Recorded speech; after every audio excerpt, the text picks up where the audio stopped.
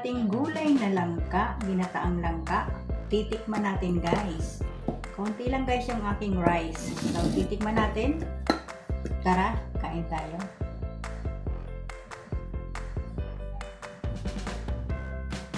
Kamay tayo guys. Hmm. Ang sarap guys. Ang lambot niya guys. Ang lambot na guys ng langka. Hmm.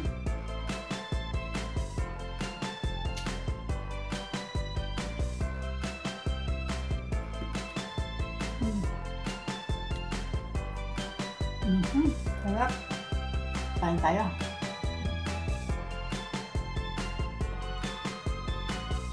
May sili. Mm.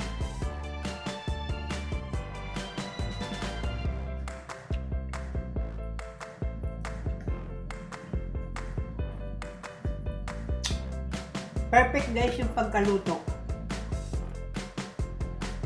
Ayan, Laguna version. Sa amin guys kasi hindi na ginigisa yung langka.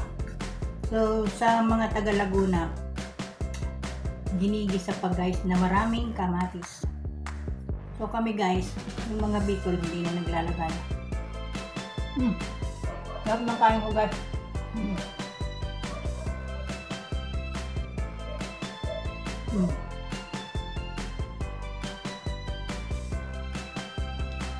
Hmm.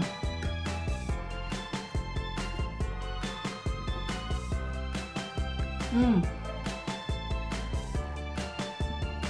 With chili. Mmm. Sarap.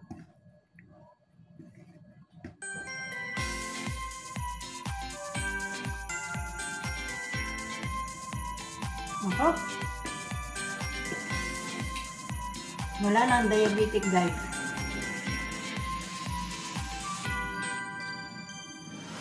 Hmm.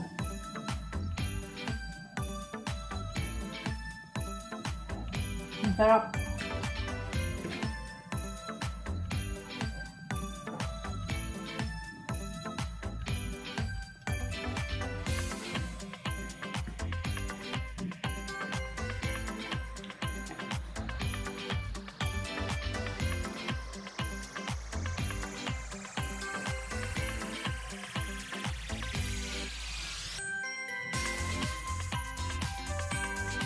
Good morning everyone! Welcome back to my YouTube channel. For today's video guys, magluluto tayo ng langka. Laguna version. Ayan. Iligisa muna natin guys yung langka. Kung nga pala guys, pinakuluan namin yung langka. Ang tawag dyan guys ay hinablusan. Ayan. Iligisa tayo ng sibuyas bawang. And then, susunod natin yung ating tomato or kamatis. Yan guys. Lutong Laguna.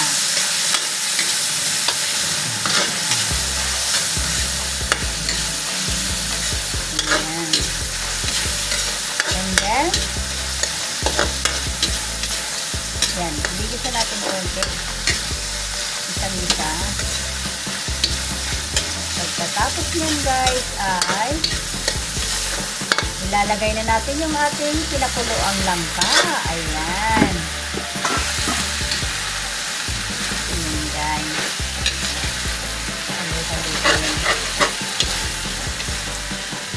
Ganyan guys magluto ang mga taga Laguna. Ah, sa dito naman guys, ang tawag ay palusag. Sama-sama na yan guys yung gata. At saka yung uh, sahog. So sa kanila guys, binigisa muna. Tapos, tinatanggalan nga siya guys ng daksa. Ayan, ginisa na. Mekos-mekos na guys. Lagyan natin ng salt. Ayan. Lagyan natin ng pepper. Uh -huh. And then, lagyan natin ito guys ng konting bitsin lang. Ayan. Bitsin. Mm And then, umikot-mikot na natin guys. Ayan, mikot-mikot. Ayan.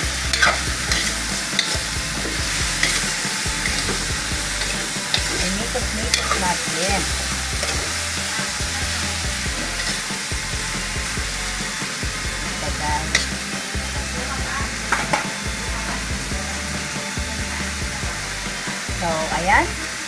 Malapit na natin guys ilagay yung ating gata. Ayan. Lagyan natin ng gata.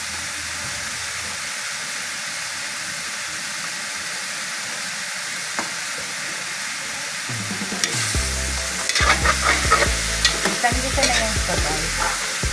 So, ilaw natin konti yung ating apoy para wag siyang masunog.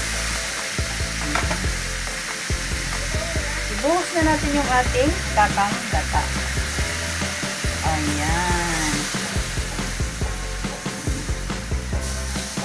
Ayan na siya guys. And then, i-cover natin siya guys at babalikan natin later. Pack up muna tayo guys. Guys, balikan na natin yung ating langka. Wow! Kulong-kulong na yan siya guys. O diba? Kailangan guys malambot na malambot. Malambot na malambot ang ating gulay. Para masarap. So, siya nga pala guys, ang ilalagay ko dyan ay sardinas. Ay siya guys. Oh, yan guys ang ating ilalagay later. So, panulit natin. Hindi pa siya guys malambot. Balikan natin later. Yan siya guys.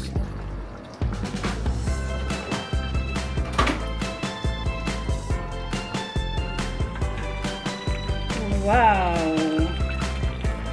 Pakilagay mo nga yung sili. Ilalagay na natin guys yung ating sili. At saka yung ating lemongrass.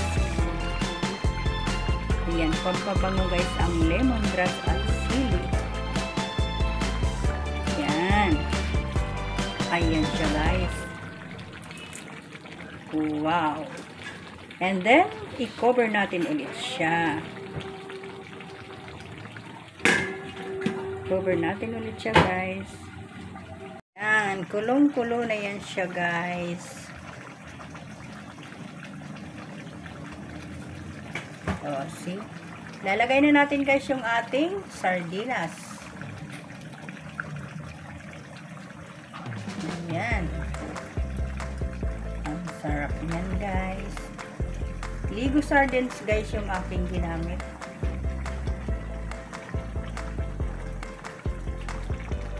Madilim kasi nandito ako nakapwesto. Ayan guys, yaw, maliwanag. Ngatog-ngatog ang kamay. Ayan guys. Imikos-mikos natin guys. Hindi yan hahaluin.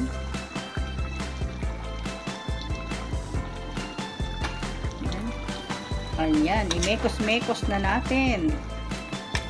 Wow! Ang lambot na guys nung langka. At saka yung gata guys. Ayan. Napakalapot. Malapit na yan guys. Uh, lumabas yung uh, mantika ng nyug. Ayan. Pampabango guys ang uh, green chili.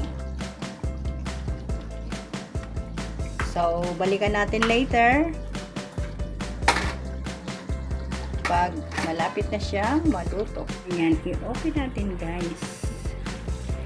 Wow! Malapit na siyang maluto guys. Ayan na siya.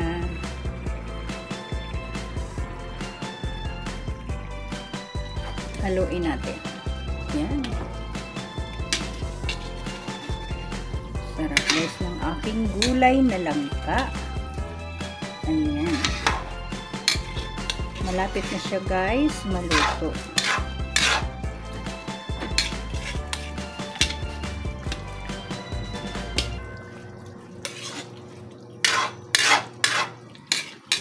Masarap talaga guys pang sahog yung uh, sardinas.